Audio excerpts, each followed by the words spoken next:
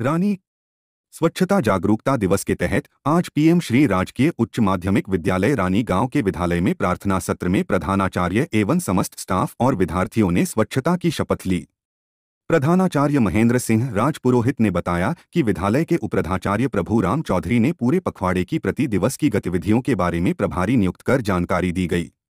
इस अवसर पर एसडीएमसी एवं अभिभावकों की बैठक आयोजित हुई, जिसमें उपस्थित सदस्यों को स्काउट बालचारों के साथ स्वच्छता पखवाड़े की शुरुआत साफ़ सफ़ाई कर दी। उसके साथ ही सदस्यों, अभिभावकों को प्रधानाचार्य द्वारा स्वच्छता के प्रति जागरूक किया गया और दैनिक जीवन में सफ़ाई गली मोहल्ले की साफ़ सफ़ाई, गीला सूखा कचरा, अपशिष्ट पदार्थ व नियमित हाथ धोने के बारे में जानकारी दी। विद्यालय स्टाफ ने विद्यार्थियों ने विद्यालय परिसर की झाड़ू लगाकर सफ़ाई की गई।